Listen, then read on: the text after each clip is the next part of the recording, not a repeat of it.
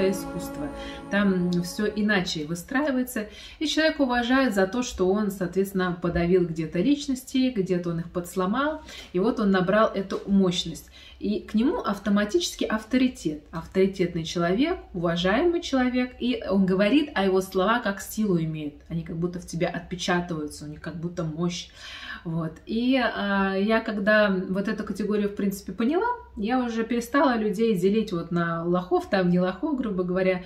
Мне видны эти хищники, они неинтересны в большинстве своем, потому что это сила, конечно, грамотная, а сила управления массами, я бы сказала, потому что все императоры, правители этой силой владеют, это знание.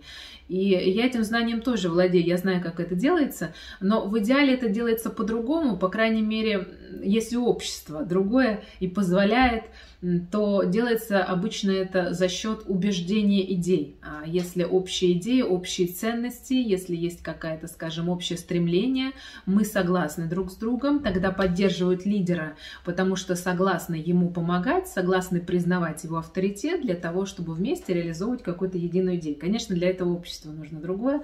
А в нашем обществе, а если у человека самосознания не хватает, то тут тоже по-разному получается с ним взаимодействовать. Некоторых людей необходимо даже ломать для того, чтобы показывать им место ставить. Поэтому я не скажу, что подобное поведение, оно полностью неправильно. Оно, к сожалению, является результатом той жизни, а, того общества, мира, в котором мы живем. Но в идеале нужно стремиться к чему-то другому, стараться окружать себя достойными людьми, стараться взаимодействовать на достойном уровне. И а, сила авторитетная может вырабатываться вырабатываться и на других основаниях, на взаимном согласии, на взаимной поддержке. Но это, конечно, уровень самосознания должен быть. Я тоже этот момент изучала, об этом очень много думала и рассуждала, но, а, к сожалению, люди не, не видят пока вот этот момент, и они а, уважают очень вот подобных а, авторитетных личностей, обладающих силой подавления, причем вот в России это вообще погийно развито. В других странах еще более-менее, слава богу, там в Европе получше. А в России, значит, если у человека есть авторитетная сила, мы так назовем авторитетная сила, то есть я вот эту вот конкретную силу подавления имею в виду, то все, что бы он ни говорил, что бы он ни делал, к нему идут, его уважают, у него и бизнес, и дела идут, и работа, и все, хотя он может предлагать полную хрень, вести себя как идиот. И я удивлялась, что некоторые там выступают в интернете, вот он чушь несет, а знаете, вот есть там такие психологи типа там или по развитию личности работают, унижают прям откровенно людей, Особенно вот эти меня бесят мужики, которые там помогают женщинам жить и устроить свою жизнь, просто их унижают, стоят, их унижают, а все с раскрытым ртом сидят такие, о, какой крутой мастер, фломастер, супер человек, у него это авторитетная сила, так он и унижает массами, он же стоит, он их ломает, ломает, и вот у него эта массивность. Они за счет этого зарабатывают огромные деньги, кстати, просто бешеные. Вот. И э, в бизнесе также эти люди, они только там выступают в интернете, зарабатывают и бизнесмены, вот они, значит, а, начальники, лидеры, руководители, их все уважают, под них все строятся, куда бы они ни вели, хрень полную творят, отвратительно бизнес-дела ведут, но с ними все взаимодействуют. А там же партнерские взаимоотношения, что касается бизнеса, вы же знаете, договорились там, порешали вопросы, где-то связи, дружба, все, вот тебе и деньги. Ну, по большому счету. А человеку, чтобы что-то втюхать, тоже нужно. Вот это самое лучшее, самое классное, когда авторитетный какой-то, знаете, бренд. Опять вы чувствуете, вы это всегда всегда чувствуете. Вы идете в магазин, вы чувствуете авторитетный бренд или не авторитетный. Я тоже обращаю внимание, чувствуется сила такая исходит от вот этого шампуня, там геля вы покупаете, или слабость такая, то есть более дорогие авторитетные бренды, у них вот эта мощь идет. И э, да, везде принцип силы, животный принцип, это основание, по которому люди сейчас ориентируются. Пока они не перестанут на это ориентироваться, мы, конечно, дальше двух шагов с вами уйти не сможем к сожалению, это наш конец в эволюционном развитии, который не позволяет нам двигаться дальше. И а, люди реагируют не на качество, не на достоинство, не на речь, не на слова, которые говорят, не на интеллект, а на авторитетную силу, именно на хищничинский инстинкт, как будто они вот какая-то жратва, я не знаю, жертвы, которые вечно идут к хищнику, чтобы он их сожрал. И вот им, грубо говоря, это нравится, это их привлекает, они это считают силой. Отсюда у нас все жертвы и страдальцы, отсюда такая несправедливость. То есть вы должны понимать, откуда корни-то растут все несправедливости человечества. Несправедливость вся в человечестве проистекает от того, что люди неправильно понимают принцип реализации своих потребностей и нужд. То есть они идут э, за силой, а не за качеством или за конкретным аспектом. Им кажется, что тот, кто сильнее, он им все даст, он их защитит, а тот, кто сильнее, их просто сожрет на самом деле. Он защищать их не будет и давать ничего не будет. И у нас на сегодняшний день такая картина наблюдается, что люди достойные, которые что-то грамотно говорят, сидят все в жопе, э, в каких-то там ютубах непонятных, что-то там выступают, а вот эти все хищники опасные, которые просто всех жрут и убивают, убивают, они вот там на центральном телевидении, знаменитости мирового порядка, их все знают, у них там э, миллиард книг, выступлений и так далее. То есть вот мы сталкиваемся с такой ситуацией. Поэтому, ребята, вы должны, конечно, в первую очередь вытравить из себя вот этот вот э, принцип силы. Э, к сожалению, ну, в эзотерике, кстати, он тоже очень сильно развит. Всем нужен мастер-фломастер, который из себя могущество определенно излучает это так настолько вбито голову, просто ужасно. Помните, я вам рассказывала, когда я только начинала работать еще тоже, ну, года два-три я уже там школу свою вела, ко мне подходили какие-то люди тут на улице, говорили, ой, вы она, типа, выступаете, а я думал, что вы там мощнее, я думал, вот вас встретишь, из вас суперсила, супермагия чувствуется, а типа от вас ничего не чувствуется, обычный вы человек, она, типа, какой вы мастер? А я им объясняла, по-вашему, что мастер это тот, который, типа, подавляет и ломает личности, что ли? Это, по-вашему, да, признак мастера какого-то великого, великое достоинство? Я говорю, настоящий мастер это человек, который вообще на улице не отличите ни от кого. Он с толпой будет смешан в плане вот этой внутренней силы и подавления, потому что это человек, который не занимается тем, что он кого-то раздавливает, там, мочит и что-то пытается доказать. А у нас, да, все вот сила, то есть это просто магическая сила, это он просто маг, ты чувствуешь от него силу. И так разговаривают, ведут разговор, пришли вы к магу, он вам говорит, да, ты неправильно живешь, у тебя это неправильно. Почему многие боятся к магам ходить, что они там сломают их, э, переломают, а, какие-то моменты внушат не те, потому что они э, специально это делают, силу нарабатывают. Вот ту самую силу, чтобы ты пришел к магу, почувствовал его силу, почувствовал его любовь, грубо говоря, к тебе, и и сразу восхитился и поверил в его могущество. А по большому счету, конечно, это ничего общего не имеет. Даже само магическое воздействие, оно не обязательно должно быть сильным, потому что даже вот я, когда работаю с клиентами, я говорю, ребята, что вот есть моменты, где я а, ломаю что-то, какие-то системы убеждений, переключаю на новый канал, и ко мне обращаются такие клиенты. Да, это слом, и люди чувствуют силу, и реально удары чувствуют, потому что по факту я и ударяю, это и есть и проламливание. То есть они просят и обращаются за этим. Но если они обращаются не за этим, просят другое, то с чего вдруг там должно быть проламливание? То есть когда тебя ломают, тебя ломают по факту. Почему это должно присутствовать э, в обыденной жизни? И этот принцип, кстати, э, есть во всех э, глобальных брендах. Вот возьмем даже к примеру, Apple компанию, всем известную, они вообще по этому принципу построили всю свою деятельность. У них даже такой лозунг есть, если тебя чего-то не устраивает, там тебе не нравятся программы, как работают или еще что-то, значит ты дурак, это у тебя проблемы какие-то, потому что они все делают идеально правильно. Ты либо учись идеально правильно мыслить по-ихнему и жить по-ихнему, либо ты дурак, и у тебя проблемы, ты не умеешь компьютером пользоваться. Они, кстати, очень часто такие моменты заявляют, я просто охреневаю от их наглости, и люди покупают пачками. И, конечно, а, я, мы отчасти тоже этой продукцией пользуемся, потому что, ну, местами у меня есть достоинство, ничего не сказать, но сама политика компании, вот та политика, которую они ведут, она просто отвратительна. Она отвратительно недопустима, и при этом люди пачками весь мир, вы смотрите, Apple там самая дорогая компания, все говорят, это гипноз какой-то, они там что-то... Я не говорю, что у них нет качества, но все равно есть многие компании, а, у которых достойное качество, они могут сравняться с Apple уже сегодня сегодня по многим категориям, но они такие слабенькие, да, чувствуется от них энергия такая слабенькая, а тут такое могущество, мощь, потому что они всю свою империю на этом выстроили. И вот те, кто этот принцип понимают, просто подавляешь других и типа набираешь силу и становишься лучше. Идешь по головам, ну, по большому счету называется, идешь по головам, по трупам, набираешь души, и реально за этим мощнейшие компании, крупнейшие, богатые, крупные корпорации, они на этом все держатся. Почему вот а, в основе всяких крупных корпораций именно подавление личности, разрушение? Вроде казалось бы, можно сказать, что а, есть там более благоприятные условия, но на самом деле в крупнейших корпорациях а, ты себя в рабство отдаешь все равно, душу, свое сознание, у тебя не должно быть личного мнения, своей жизни, то есть там это по-другому строится. Очень грамотная система в Америке именно. Тоже американцы решили построить свою систему управления государства, именно на принципе зверя, точно так же.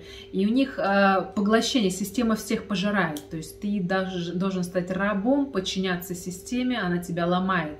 Причем там очень грамотный слом такой идет, он тебя не ломает во всем, в отличие от России. Здесь не ломает, в Америке не ломает твое творчество, твои идеи, но ломает твою свободу. То есть ты не имеешь права при, применять свое творчество, свою идею так, как ты хочешь и там, где ты хочешь. Но на благо системы, так как она скажет, ты применить можешь вполне. И там поэтому вроде творчество развивается, вроде такая многофункциональность, много направлений, но все эти направления служат господину и только. А потому что если вы не будете господину служить, то ни ваше творчество, ни ваши идеи никому нафиг не нужны. Почему там очень много самоубийств, и много преступности а, в Америке, потому что убивается свобода, их прям это все вытряхивает изнутри, людям психологически сложно. В России здесь и творчество убивается, здесь полное подчинение должно быть. В общем, этот принцип по всему миру работает, он не только работает где-то, основа всей несправедливости, а, дьявольская основа. Почему дьявольская? Потому что принцип зверя, как раз вот звериный знак, он является основой дьявольской силы. Вот а, само такое отношение к жизни, оно вас всегда будет вводить в ситуации несправедливости. А в чем конкретно это проявляется? Если вы бежите, беги, бегете, слово не знаю, как сказать, если, короче, вы стремитесь к силе, то вы никогда не будете на коне, вы всегда будете под конем. А я сейчас объясню как. А это, в принципе, настолько нас въедо в голову, что мы даже не понимаем вообще, когда мы это совершаем. К примеру, ну вот самый банальный пример. Вы ищете себе вторую половинку, а вы ищете, к примеру, ну даже те, кто нашли, это просто пример.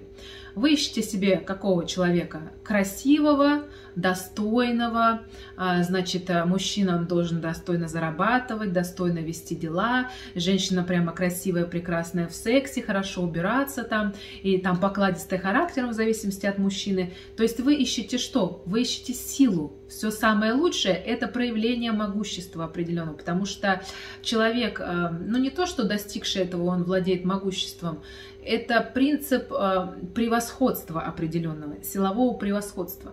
То есть превосходство над другими. Человек превосходит других за счет качества, за счет проявления. А чтобы превосходить других, вот, допустим, ну, к примеру, красивая женщина, что значит такое красота? Красота – это внутреннее понятие, а женщина может быть эстетически выглядеть нормально, но она может быть некрасивая. Она может быть, допустим, худая, фигуристая, но она некрасивая, она серая, как мышь. Женщина, допустим, чуть-чуть полнее, может быть более эффектной. Почему? Потому что это внутренняя сила. Откуда она берется? Тоже за счет подавления других. Там тоже должны быть убиенные для того, чтобы вот эти супер красавицы, бешеная она красивая, так она за собой кучу трупов тащит, потому что вот эту красоту нужно было утвердить на ком-то. На ком-то, кто просто отдал это и потерял свое. То есть вот эти вот а, именно красавицы, которые там, знаете, именно это внутреннее типа состояние уверенности в себе. Мол. Но на самом деле это не уверенность в себе. Э, вот у меня такая одноклассница есть, девушка, ну, она нормально выглядит, я вот тоже мужу рассказывала, но симпатичная, я не говорю, что... Но ее внешность, я бы не сказала, что она красивее всех, в плане она прям самая красивая. Но при этом, когда все ее видят, у всех дар речи пропадает от нее незыблемой красоты, и она идет такая, я красивая, я красивая, хотя она гнилой человек, то есть я ее знаю, вот как личность, я с ней в школе училась, и она именно вот она убивает, и она унижает, она всегда, я помню, мы еще с подружками в школе, да, дружили, сидела как-то я, моя подружка, и она втроем, мы там общались, И она такая, вот смотрите, типа, на нас парни смотрят только потому, что я с вами сижу. Типа, и она такая раз нас подунизила, такая, что мы там вообще ничего не стоим, у нас внешность никакущая, нас никто посмотреть, в принципе, не может. Но вот она во всем так. То есть, если она не говорит, она так думает. Но это однозначно за счет этого реально там мужики роятся роями. Рой, понимаете, мужиков просто тумен, а, что она незыблемая красавица и так далее. А это тоже за счет убийства и привлекает это. И говорят, привлекает уверенность женщины, но это не уверенность, это сила, хищническая сила. Есть сила также мужчина, достойный такой, весь он там а, бизнесмен, богатый, обеспеченный, холеный, вот он заходит, садится, все там перед ним падают, какой классный мужчина, какой замечательный, но тоже же он пожал-то столько жертв, чтобы вот эту силу излучать, чтобы он зашел не как там лох такой смущается, спотыкается не знает, как разговаривать, а он пришел такой и там достойный сил. Это тоже, понимаете, типа уважения, достоинства, но нет, опять же, жертвы за плечами. И э, есть, конечно, я не, не говорю, что всегда прямо именно жертвы, есть проявление этого принципа более в достойном моменте. Есть, когда, вот я как вам правителя пример привела, есть тираны, которые унижают, да, есть человек, который авторитетный, он ведет за счет идей. Да, люди могут за счет признания красоты и достоинств но я вам скажу один момент, там можно даже это проверить.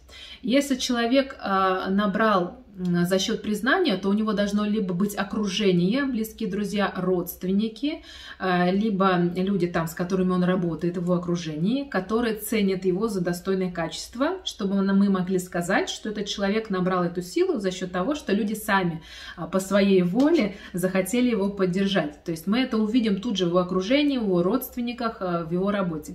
Если мы это не видим ни в окружении, ни в родственниках, в работе, то есть это просто люди, которые восхищаются им, конечно, что он классный, но нет нету вот именно такой поддержки, нету искренности, нету сонастроенности настоящей, значит, он где-то эту силу взял.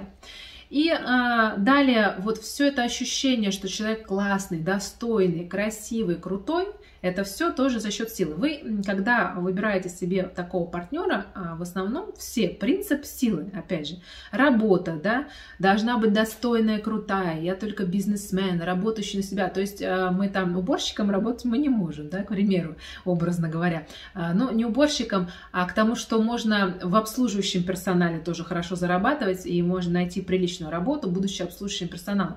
То есть есть достойный уровень зарплат, который повыше многих образованных образованных людей с образованием высшим. Сферы это разные бывают работы. Обслуживающий персонал, опять же, там прислуга, уборка, там горничная, там еще что-то, к примеру. А, если у вас идет стремление, что это там фи или человек, который работает в этой сфере не очень, это опять же движение за принципом силы. Но здесь вы можете сказать, здесь большинство людей все-таки варьируется. Но в выборе второй половины, в выборе образа жизни, образа взаимодействия, вот э, если вы все самое классное, все самое крутое хотите себе, и вроде я типа этого достоин, это не про достоинство вовсе вообще, это как раз про ваши животные инстинкты. И когда вы в своей жизни выбираете именно животные инстинкты, то а, вы никогда не будете счастливым. Потому что такие люди, такие обстоятельства, обстановка такая, она вас сжирает сама по себе. Она, а, если силу на других набирает, на, на таких, как вы, набирает силу, на тех, кто поклонники эти силы, этой силы, и вы для них всего лишь жертва, всего лишь еда. Соответственно, найди вы такого партнера, такого классного, там, супер крутого, он вас а, унизит, уничтожит. Найди вы такую работу, именно работа престижная, а, там, там вас будут жрать на этой работе. То есть одно дело вам нравится это, и вы на своем месте, у вас это легко получается. Другое дело, вы к какому-то престижу идете. Я не говорю, что там не надо стремиться к деньгам, к уровню, а надо стремиться к настоящему, ко всему. То есть вы ищете чего? Вы ищете какое-то могущество там непонятное? Или вы ищете, допустим, спокойствие, гармонии, любви? Для любви не нужен там человек супер достойный, супер крутой. Любовь это чувство, понимаете? Оно кому возникнет, тому и возникнет. Там не нужна ни внешность, ни условия, ни работа. Поэтому как можно выбирать любовь по критериям? Там рост, внешность, вид, то есть, ну это же вранье. Также друзей вы выбираете. Как вы можете по критериям друзей выбирать? Дружба это чувство, оно возникает. Соответственно, нет у этого чувства критерий. Вы выбираете чувство. Работа, область деятельности, место жительства – это то, где вам хорошо, это то, где вы проявляете себя, а не то, что достойно, то, что классно, то, что как-то я не знаю, крутом уровне. Опять же, выбирая место жительства, место реализации, мы выбираем какой-то уровень. Вот это у нас вшито на подкорке. Вот это и есть сам принцип служения дьяволу. Это принцип не служения деньгам, богатству, это принцип служения животной силе.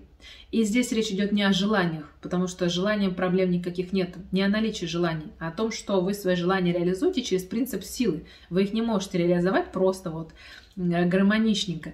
И из-за этого люди начинают, вот они все рвутся жить в Москву, например, в столицу, потому что там больше денег, крутая работа. Они все рвутся идеальных партнеров найти, потому что партнер должен быть вот такой вот он идеальный, внешность, или у него работа какая-то, или заработок. Все одинаково выглядеть стремятся, одинаково покупать все, э, разрывают там по частям эти столицы, где там жить уже нечего, негде, грубо говоря, забрасывают города, там поля, деревни, потому что это не модно, не круто, круто и так далее, там, хотя тоже можно развивать творческий потенциал, как-то интересно.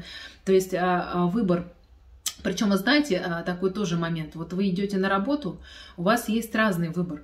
Вы, допустим, можете в какую-то крутую корпорацию устроиться, где вы там будете клерком, лохом, вы можете подниматься, у вас есть перспектива, но вы понимаете, что если вы будете подниматься, постепенно вас эта корпорация сожрет.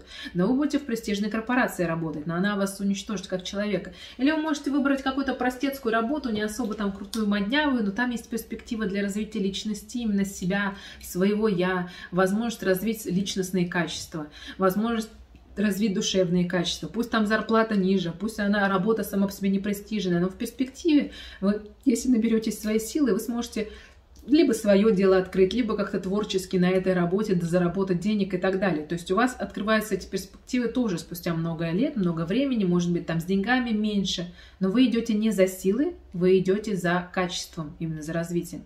И люди, которые, э, соответственно, большинство из вас, конечно, такой выбор никогда не сделают. А, и это хороший показательный пример того, что вы себя представляете по жизни, потому что я, скажем, в своей жизни однажды такой выбор сделала, и в награду мне вот моя деятельность, которой я занимаюсь. Это награда того, что я когда-то не выбрала принцип животной силы. Хотя а, у меня было движение, помните, я рассказывала, я работала на работе последнего, там достаточно высокая зарплата, там была для моего уровня, выше моего уровня, который я могла себе позволить. И платили хорошо, работа была ужасная, она убивала личности, уничтожала. Но типа, где бывает лучше, как там все говорили, везде там типа работа такая, все начальники, они ужасные. Я говорю, не все, говорю, мне нужно нормальное начальство. В итоге, конечно, я ни на какое начальство не смогла работать. Но смысл заключается в том, что я этот выбор не в угоду деньгам сделала, и в итоге потеряла много денег, и много лет вообще там практически без денег жила. И только спустя много-много лет я там пришла вот к тому, что имею сейчас. Но вы знаете, оно того стоило. Поэтому, а, если бы я эти года потратила на корпорации, у меня вот пример тоже моей матери, которая всю жизнь проработала в системе, а в итоге, а, грубо говоря, на пенсию вышла, и все. А эта система ее выжила до нитки. Что она может? Вот она с нами теперь живет, соответственно, ну, имею в виду, не вместе живет, а живет общим делом, там, со мной, с моим мужем, с нашей общей движением, но сама она не смогла ничего реализовать, хотя могла, у нее была перспектива, у нее были возможности, у нее были силы в свое время. Но система ее сожила, когда была система, было хорошо, но система она поела и выплюнула. А дальше-то вы тоже, у системы есть порог. Видите, пенсионеры не нужны системе, они ей не интересны, она их очень быстро выбрасывает. А когда у вас свое дело, будь вы пенсионер или кто, вы всегда будете на высоте, в любом возрасте это ваше. Поэтому старт до, медленнее, дольше и меньше таких вот возможностей изначально, зато в дальнейшем больше выхлоп. Запомните, жизнь вас всегда наградит а, за то, что вы не стремитесь к силе. Это касается и личных отношений, когда вы выбираете любовь, а не могущество, там, крутость, богатство, там, а именно чувство выбираете. А, это касается и всего остального, а, вообще образа жизни, обстановки, в которой вы находитесь, если вы стремитесь к силе, вы всегда будете жертвой. И ситуации, где вас обманули, где с вами поступили несправедливо, это в любом случае ситуации, где вы каким-то образом оказались с этим человеком, а, потому что шли не туда, не в ту сторону. Все равно, э, кем вы не были, плохой ли вы, хороший, вы шли не в ту сторону, неправильно вы это все а, понимали, неправильно к этому относились, и вот в результате вы получили удар. Несправедливость, она заложена в основе нашего мышления. Мы а, по отношению к миру несправедливы. Мы несправедливы по отношению к ценностям, понимаете? Мы не ценим настоящие ценности, какую-то ботву считаем нечто ценным. Человек якобы, если он богатый и крутой, для нас он значим, мы считаем его важным. А за что мы его важным считаем? За что мы его уважаем? Э, где его значимость? Но даже если он там не хам, там не ужасный, нормально он разговаривает, но все равно это не тот уровень, понимаете? А, есть ваше, а есть не ваше. И вы должны стремиться к своему в жизни, каким бы оно ни было, явно проявленным, слабым или э, не крутым, или лоховским, да, казалось бы. Э, это я помню, как тоже э, ситуация с моим мужем. Вот э, мы с ним познакомились как раз перед э, лекцией магии любви. И вот на магии любви пришел он такой весь красивый, э, наряженный, я помню пиджаке, очень э, классно мы там с ним вместе были. И вот эти э, всякие злопыхательницы, как раз тогда вот это начался там раскол, гадости про меня говорили, значит, они потом выступали, куча гадостей говорят. Вы, говорит, видели типа мужа Аная, вы на него посмотрите, мол, что он там, мол, из себя представляет. Это все сразу говорит об Анае. Я думаю, надо же, какие примитивные, глупые люди. Неужели они не понимают, что в отношениях э, с мужчиной главное отношение, то, как он к тебе относится, а не какая-то демонстрация могущества. Думаю, теткам столько лет, они меня старше, и такие тупые глупые. Хотя та самая, вот, которая выступала по этому поводу, у нее ужасные отношения с мужем, просто отвратительные. Ее муж там э, пьет, орет, ругает, не знаю, там бьет, конечно, ее или нет, но он просто ужасно себя ведет, и там как бы несчастье куча в семье, и она вот именно это и сказала. Я думаю, ну вот поэтому Поэтому-то и жертва-то страдальца, потому что тупая такая дура, не понимая, что мужчине главное, чтобы он тебя любил, а не, а не был каким-то могущественно достойным. Это достижение есть. Соответственно, любовь, она проявляется в действиях и в поступках. И главное, в итоге на этой дистанции, как говорится, смеется тот, кто смеется последним. Потому что она страдалица, вот сидит, рыдает там со своим мужем, а я счастливая, радостная сижу. А тут нам мы объясняем про могущество, да, кто там круче выглядит и так далее. Поэтому, ребят, это по жизни вот во всем так.